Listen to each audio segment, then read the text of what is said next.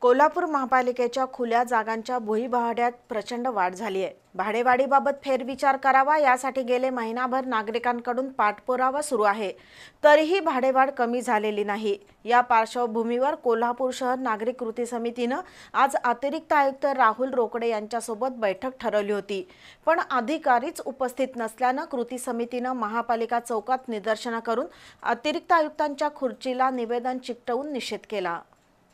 कोल्हापूर महापालिकेच्या काही खुल्या जागा भुईभाडे पद्धतीनं व्यावसायिक आणि रहिवाशांना भाड्यानं दिल्या आहेत. त्याचबरोबर काही दुकानगाळे किंवा शेड व्यावसायिकांना भाड्यानं दिल्या आहेत. या मिळकतधारकांचा नवीन भाडे आकारणीचा प्रश्न गेली सहा वर्ष प्रलंबित आहे.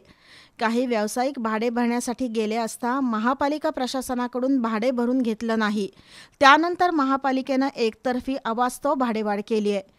या भाडेवाढीचा फेरविचार व्हावा. यासाठी कोल्हापूर शहर आणि जिल्हा कृती समितीनं आज अतिरिक्त आयुक्त राहुल रोकडे आणि इस्टेट ऑफिसर सचिन जाधव यांची वेळ घेतली होती.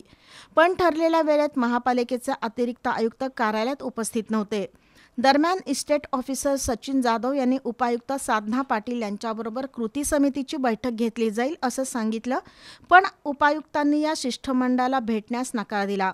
त्यामुळे संतप्त झालेल्या कृती समितीच्या कार्यकर्त्यांनी महापालिका चौकात जोरदार निदर्शनं केली. त्यानंतर अतिरिक्त आयुक्तांच्या खुर्चीला निवेदन चिकटवून शंखध्वनी करत निषेध नोंदवला.